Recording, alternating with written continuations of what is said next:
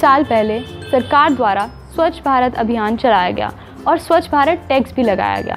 तो आज चलिए लोगों से पूछते हैं कि स्वच्छ भारत अभियान का कोई असर हुआ है या नहीं?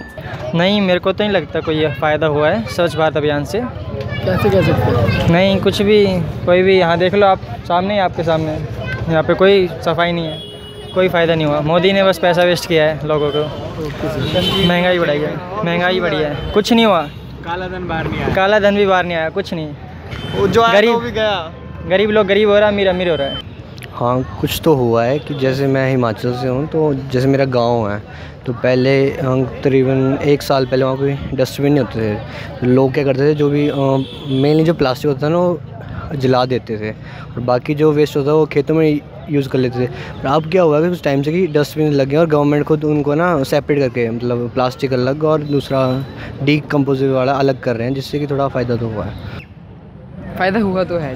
कैसे कैसे फ़ायदा हुआ? आप कहीं पे भी देखोगे कम से कम पोस्टर ही लग गए हैं लोग वही देख के अकल कर लेते हैं। अब साफ़ है काफ़ी गंद नहीं डालते लोग कैसे मतलब कि काफ़ी जैसे वीडियोस देख के काफ़ी काम हुआ है मतलब कि पहले से काफ़ी बेटर अब लोग ज़्यादातर डस्टबिन में डालते हैं पहले डस्टबिन यूज़ ही नहीं करते थे हाँ फ़ायदा तो हुआ सर कैसे- ब- मतलब हुआ भी है लोगों को फ़र्क भी नहीं पड़ता दोनों चीज़ें ਲੱਗਦਾ ਨਹੀਂ ਭਾਜੀ ਕੋਈ ਕੋਈ ਕਰਦਾ ਨਹੀਂ ਕਿਉਂਕਿ ਇਕੱਲਾ ਮੋਦੀ ਵਿਚਾਰਾ ਕੀ ਕਰੇਗਾ ਸਾਨੂੰ ਆਪਾਂ ਨੂੰ ਵੀ ਕਰਨਾ ਪਏਗਾ ਜੇ ਮੰਨ ਲਓ ਮੈਂ ਇੱਥੇ ਗੰਦ ਸੁੱਟ ਗਿਆ ਤਾਂ ਮੋਦੀ ਥੋੜੀ ਚੱਕਣਾ ਆ ਕੇ ਮੈਨੂੰ ਚੱਕਣਾ ਪੈਣਾ ਸੋ ਸਾਰਿਆਂ ਨੂੰ ਐਫਰਟ ਕਰਨੀ ਚਾਹੀਦੀ ਹੈ ਸਾਨੂੰ ਇਕੱਲਿਆਂ ਨੂੰ ਕਰਨੀ ਚਾਹੀਦੀ ਮੋਦੀ ਇਕੱਲਾ ਨਹੀਂ ਕੁਝ ਕਰ ਸਕਦਾ ਆਪਾਂ ਨਾਲ ਜੁੜਨਾ ਚਾਹੀਦਾ बिल्कुल सर, बहुत अच्छा फ़ायदा हुआ है सर। अगर रेलवे स्टेशन देखे जाएँ तो काफ़ी स्वच्छ हैं और स्लीपर वाले यदि रेलवे को वगैरह डिपार्टमेंट देखा जाए, वो भी काफ़ी स्वच्छ दिखा।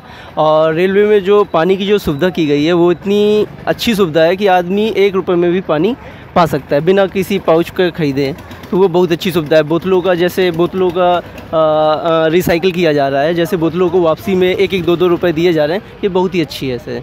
खबर है। जी, सर। हाँ बहुत फ़ायदा हुआ है। ये सिटी एकदम क्लीन दिख रहा है। जो कि भारत में होना चाहिए था। कोई कचरा नहीं दिख रहा है रोड में बहुत अच्छा फ़ायदा हुआ है स्वच्छ भारत से इंडिया को। काफ़ी ज़्यादा। कैसे कह सकते हैं? जैसे कि अगर पब्लिक प्लेस में जाओ गुटके के पन्ने और पानी की बोतल ये सब चीज़ नहीं मिलती। पैरों को भी थोड़ा सही लगता है और जहाँ पानी होता है वहाँ तो और ये चीज़ें दिक्कत करती है। शायद उससे ज़्यादा दिक्कत मुझे तो अच्छा लगता है। हाँ हाँ बहुत हुआ है। कैसे हुआ? अब देखो मेरे हाथ में ये बोतल है है ना? अभी इतनी समझ आ गई है कि जब ये ख़त्म हो जाएगी तो उसको डस्टबिन में ही डालना है। है ना? हाँ। इससे पहले? पहले मतलब मन हुआ तो डाला नहीं मन हुआ तो इधर उधर फेंक दी। अभी ऐसा है कि अभी इतनी समझ आ गई है कि नहीं कचरा हर जगह नहीं फेंकना है जहाँ पे इसकी निर्धारित जगह है वहाँ पे इसको डालना है। हुआ है ना? कैसे कह सकते हुआ ये देख रहे हैं ना हम सब कुछ सच दिख रहा है। थोड़ा थोड़ा। कैसे कह सकते फ़ायदा हुआ है? हम्म, कोई भी पढ़ा लिखा आदमी है देखता है तो उसके असर पड़ता है उस पर स्वच्छ अभियान का बोर्ड लिखा होता है ना? पहले से ज़्यादा हाँ। बहुत सफ़ाई है ठीक है। पहले कम थी और अब ज़्यादा हो गई है।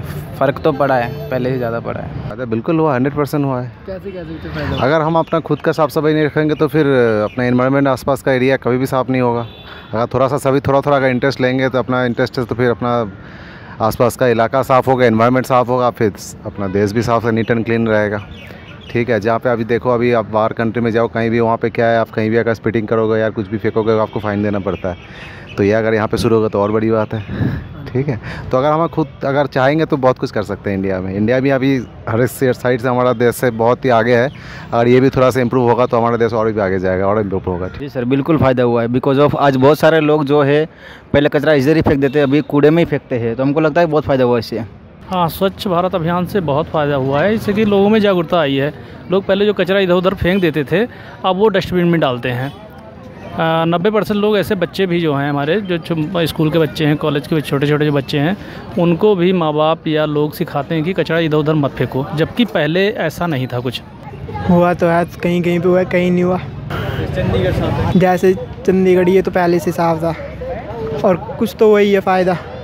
हमारे वहाँ पे राजस्थान में वहाँ पर सही साफ़ रहने लग गया पहले से तो सही है।